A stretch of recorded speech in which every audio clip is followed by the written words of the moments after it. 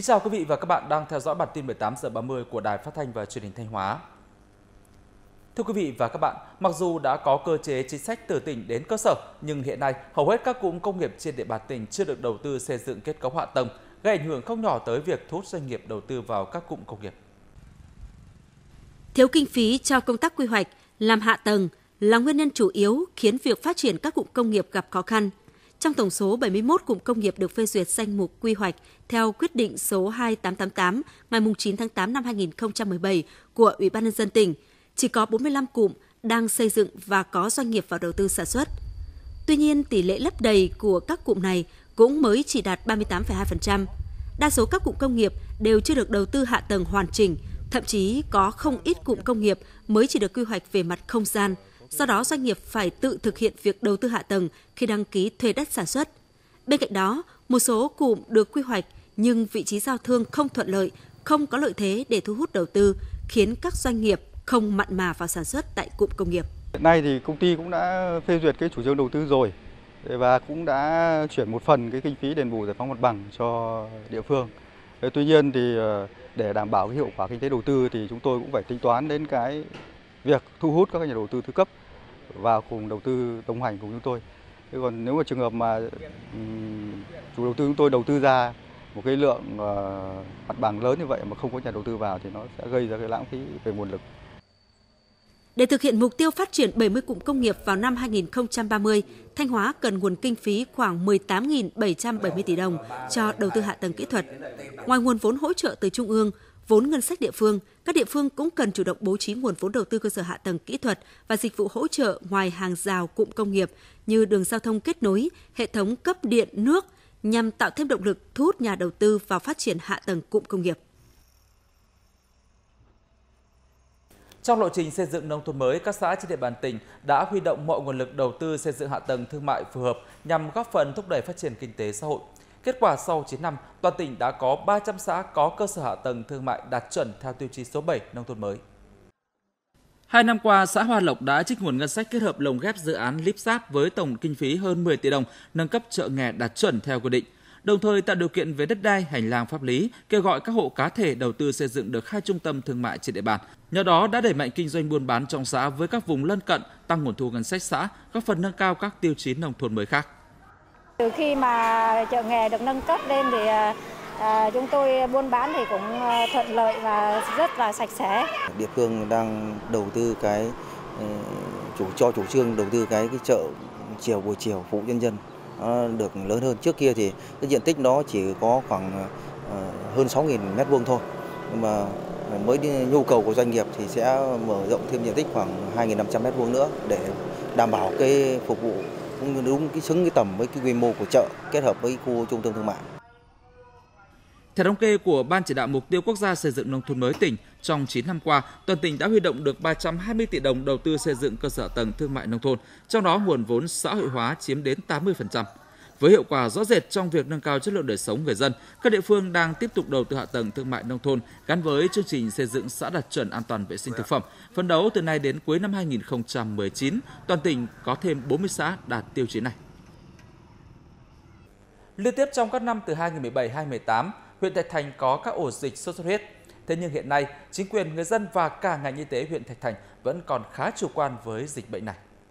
Xã Thành Tâm, huyện Thạch Thành là địa bàn đã bùng phát dịch sốt xuất huyết trong năm 2017. Thời điểm đó, phải mất tới 3 tháng địa phương này mới dập được dịch và tổng số bệnh nhân mắc sốt xuất huyết lên tới 35 người.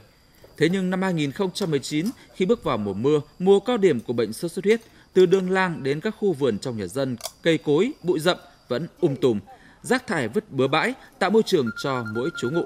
Đáng lo ngại hơn nữa là tại các hộ gia đình rất nhiều vật dụng chứa nước có long quăng, bọ gậy. Năm nay thì tôi đi nói chung là tôi đi làm nên tôi cũng chả để ý cái đấy thì đầu năm chả. Còn năm ngoái năm kia thì có rồi.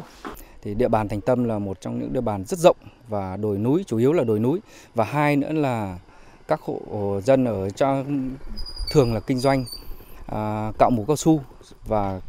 và một số các cái mặt hàng kinh doanh khác do đó là nó cũng rất khó trong cái việc là chúng tôi dập dịch chủ yếu chúng tôi là tuyên truyền cho bà con nhân dân là xung quanh các hộ gia đình nhà mình và cái vườn nhà mình để phòng chống dịch sốt xuất huyết thôi. Hộ dân thì vẫn đang còn thờ ơ với cái cái các cái biện pháp mà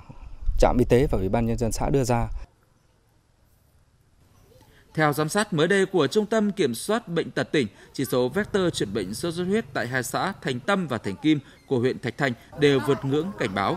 Điều này cho thấy không chỉ người dân thờ ơ, thiếu chủ động trong phòng chống dịch bệnh, mà chính quyền, ngành y tế địa phương cũng đang chủ quan, nhất là trong công tác tuyên truyền hướng dẫn, nâng cao ý thức và hiểu biết của người dân về bệnh sốt xuất huyết.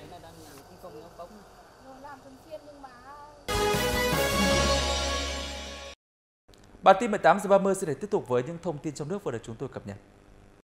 Tổng cục Đường bộ vừa yêu cầu các cục quản lý đường bộ 2, 3, 4 phối hợp với chính quyền địa phương, doanh nghiệp của 4 dự án BOT trên quốc lộ 1, quốc lộ 14 tạm dừng thu phí đường bộ từ 18 giờ ngày 10 tháng 7 cho đến khi hoàn tất việc ký phụ lục hợp đồng BOT triển khai thu phí tự động. Các dự án nói trên gồm dự án đường hầm bộ Phú Gia, Phước Tượng, trạm thu phí Bắc Hải Vân, Dự án mở rộng quốc lộ 1 đoạn km 1488 đến km 1525 qua tỉnh Khánh Hòa, trạm Cam Thịnh quốc lộ 1. Dự án mở rộng quốc lộ 1 đoạn Cần Thơ Phụng Hiệp và dự án mở rộng quốc lộ 14 đoạn thành phố Pleiku đến cầu 110 với hai trạm thu phí tại km 1610 cộng 800 và km 1667 cộng 470. Bộ Giao thông Vận tải yêu cầu Tổng cục Đường bộ xem xét dừng thu phí đối với các nhà đầu tư không hoàn thành đúng tiến độ ký kết phụ lục hợp đồng để thu phí tự động. Những ngày qua trên địa bàn tỉnh Hậu Giang xuất hiện nhiều cơn mưa lớn liên tục trên diện rộng, kèm theo do gió mùa Tây Nam hoạt động mạnh gây đổ ngã nhiều diện tích lúa hè thu. Theo thống kê của Tri Cục Trồng Trọt và Bảo vệ Thực vật tỉnh Hậu Giang, mưa lớn liên tục trên diện rộng đã làm đổ ngã hơn 2.000 hecta lúa. Hè thu đang chín, sắp thu hoạch với tỷ lệ thiệt hại từ 5 đến 30%. Diện tích lúa bị đổ ngã tập trung nhiều tại các huyện Vị Thủy, Long Mỹ, Phụng Hiệp, thị xã Long Mỹ và thành phố Vị Thanh. Do lúa hè thu đổ ngã, năng suất không cao, giá lúa bấp bênh nên ở những diện tích đã thu hoạch, nông dân chỉ đạt lợi nhuận từ 10 đến 15 triệu đồng một hecta. Sở Xây dựng Hà Nội vừa có công văn gửi các quận huyện và các đơn vị liên quan yêu cầu các đơn vị này tích cực triển khai các giải pháp thu gom rác đảm bảo thu dọn xong 13.000 tấn rác tồn động trong khu vực thành phố trước ngày 8 tháng 7 năm 2019. Đến nay, khu liên hợp xử lý chất thải Sóc Sơn đã tiếp nhận rác trở lại bình thường. Sở Xây dựng yêu cầu các quận huyện khẩn trương tăng cường nhân lực phương tiện thiết bị để vận chuyển rác thải trên địa bàn về khu liên hợp. Trước đó đầu tháng 7, nhiều người dân xã Nam Sơn và Hồng Kỳ đã chặn xe rác vào khu liên hiệp xử lý chất thải Sóc Sơn. Vụ việc khiến hàng nghìn tấn rác thải ùn ứ khắp nơi trong thành phố. Chiều ngày 6 tháng 7, cơ quan cảnh sát điều tra công an tỉnh Trà Vinh khởi tố, bắt tạm giam đối với ba bị can làm nghề môi giới nhà đất gồm Trần Mười, tên gọi khác là Chí, 43 tuổi, Huỳnh Công Trúc, 50 tuổi và Lê Hoàng Anh, 28 tuổi, cùng ngụ tại thành phố Trà Vinh để điều tra về hành vi vi phạm quy định về quản lý, sử dụng tài sản nhà nước gây thất thoát lãng phí. Cùng với hành vi trên trước đó, cơ quan cảnh sát điều tra bắt 5 đối tượng nguyên là cán bộ phòng tài nguyên môi trường, thành phố Trà Vinh. Bước đầu, cơ quan cảnh sát điều tra công an tỉnh Trà Vinh xác định ba đối tượng có đất đã tìm những gia đình chính sách để thuê đứng tên các thửa đất, sau đó chuyển đổi mục đích sử dụng đất để trốn thuế, số tiền thiệt hại gần 120 tỷ đồng.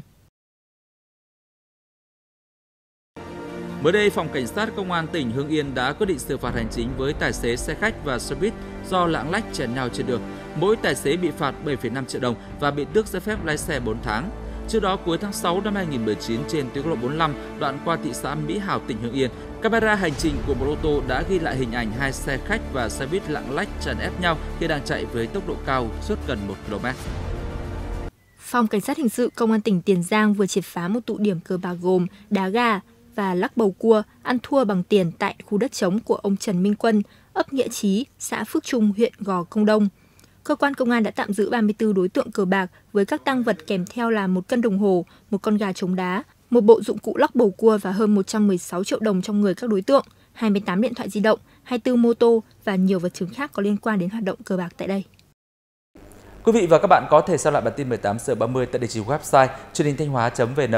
Thông tin phản ánh của quý vị và các bạn xin gửi về chương trình theo địa chỉ email bản tin 18 giờ 30 TTVAGmail.com hoặc số điện thoại đường dây nóng 0888 253636. Xin được cảm ơn và kính chào tạm biệt.